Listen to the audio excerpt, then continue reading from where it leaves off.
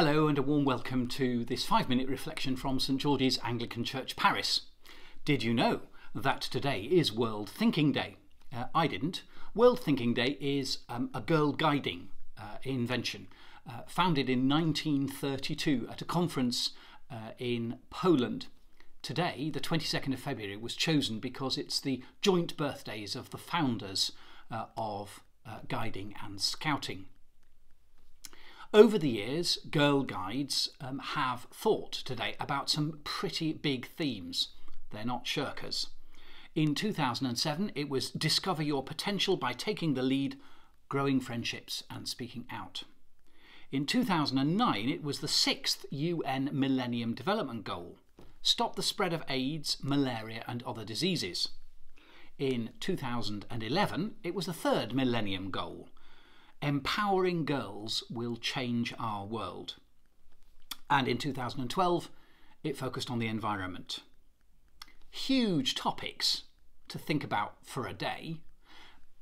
It might feel a bit tokenistic, um, uh, but the day is about much more than simple consciousness raising, uh, even uh, than the fina financial contribution made by guides around the world.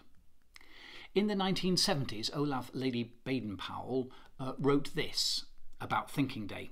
Far greater than the financial success is the spiritual impact of Thinking Day. During the 24 hours of 22nd of February, these kindly, generous thoughts are being thrown out into the ether by guides who care personally about the preaching of love and goodwill in the world and these thoughts and prayers are concentrated thus as a live force for the developing of friendship and understanding for which all peoples are longing.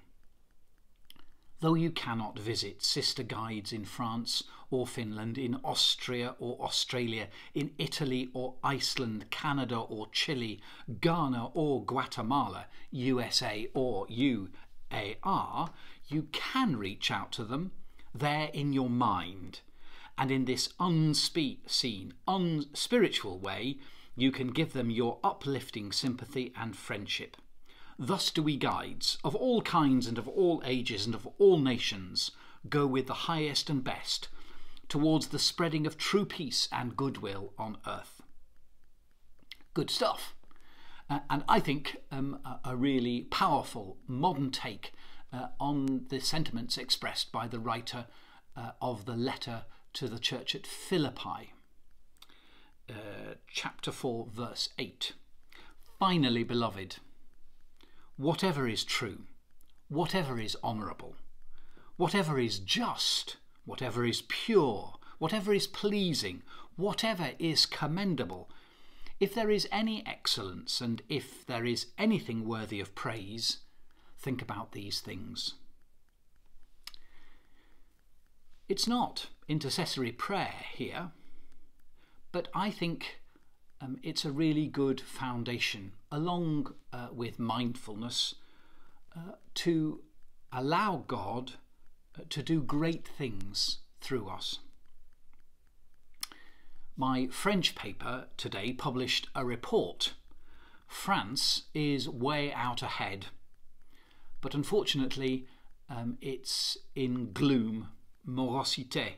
From February 2020 to February 2021, we jumped from 22% to 34% of those polled feeling uh, gloomy.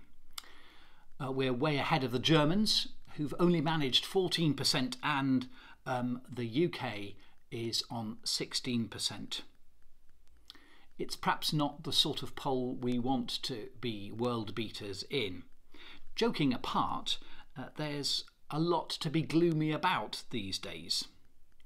But for us as Christians, we need to hold on to the fact that we are a people of hope, not of optimism, and we are a people of joy, not just jollity.